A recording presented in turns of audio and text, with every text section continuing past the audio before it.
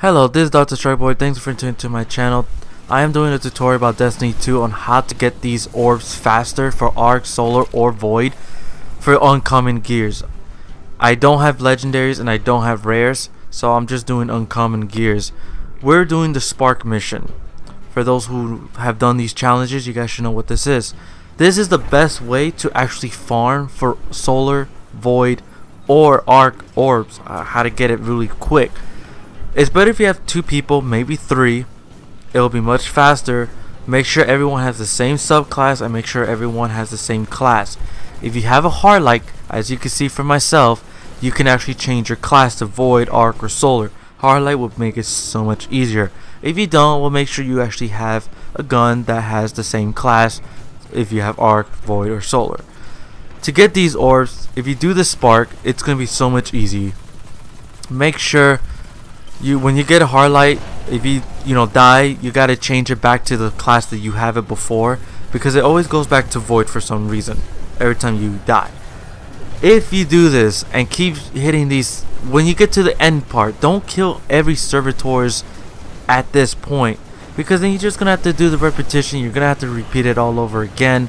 And as you can see you can see all of these you can see all of these servitors here once you hit the boss, he's going to have these little mini servitors. And just keep killing them. Make sure you leave one alive. And then just wipe towards the end. This is going to make so much easier for those who actually wants to get these orbs much faster. So you don't have to repeat these over and over. Doing from the beginning all the way to the end. To the beginning to the end. This is going to make life so much easier. This is going to make less frustration and less stress. I just thought about it. If there's videos out there, I don't know about it. I just was doing this and then I thought about it and then I just see all these orbs because we've been doing this and we're never going to finish it.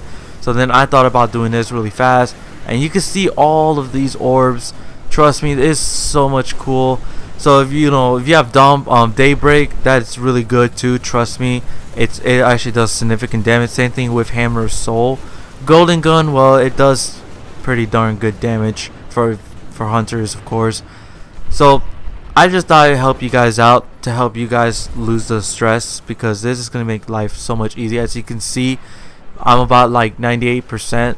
So you just keep doing this, repeat, you know, rinse and repeat. That's pretty much what this is. Trust me, it's really going to make you finish this quicker. Now, the only downside to it, it won't work for all of them. Remember that. If you have to do it on strikes to get orbs, whether it's void, arc, or solar, because everyone's is different, it will not work. You will see it, but when you collect those orbs, it won't be accounted for. It has to say something where it could be in general. And since we're doing it in Earth, some might say you have to get on Earth. But there's some that don't require for anything. You could just get it no matter where you're doing. It could be strikes, nightfalls, you know, public event. It doesn't really matter. So I just thought I'd help you guys out. I thought this would be a really good way of doing this. Hardlight is the way to go trust me like I'm a big fan of Hardlight just because you could change it to any class you want and you don't have to worry about having the gun or not if you don't have it. So you just technically just do this and just kill yourself. So thank you guys for watching. Stay tuned for more. Subscribe like and share. And hopefully this helped all of you guys. Peace out